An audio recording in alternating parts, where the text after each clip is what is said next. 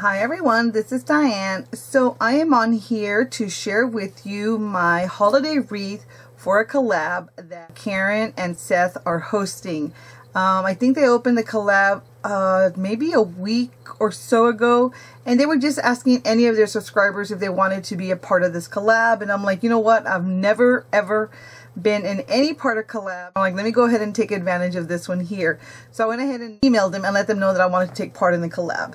So in the description box, you will see everyone else that's taking part in the collab. So I think it's a perfect time to get um, ideas and um, inspiration to make wreaths because honestly I've never even made a wreath before. So this is a holiday wreath and I decided to make a Christmas wreath and I'm like, what am I going to do? Because I've never made one before.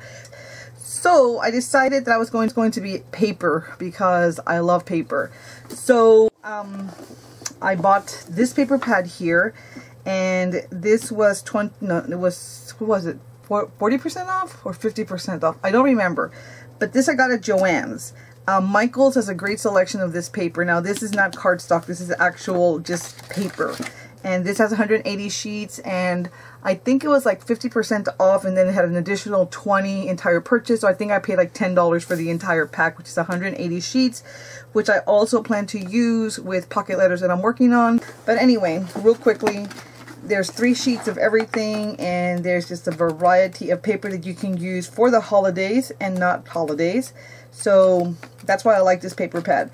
Michaels also has theirs on sale and they have a nicer selection but I had gone to Michaels after Joann's and I'm like ah, I'm not, I don't feel like going back. I don't feel like returning this.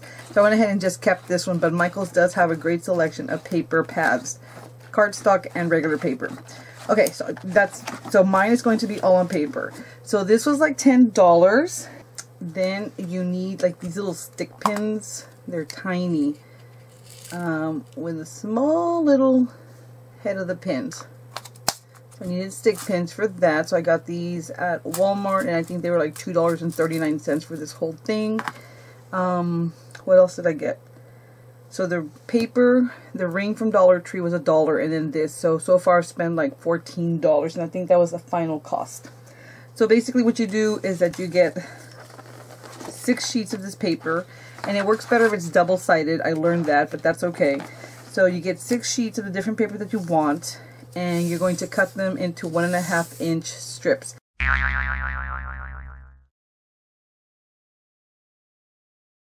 So this is crooked. This is the one I, this was the leftover one that I threw in the trash actually. I didn't use it, but um, one and a half inch strips. So you can use a bone folder, bone tool, which I don't know, people call it different things. Um, you can use this, but I actually wasn't liking it. I used the letter opener and all you do is get the paper and it curls up. It starts curling up. Well, it should curl up. See, it should curl up like that on both sides. Well, I had to get another piece because that one didn't curl up. It should curl up like that.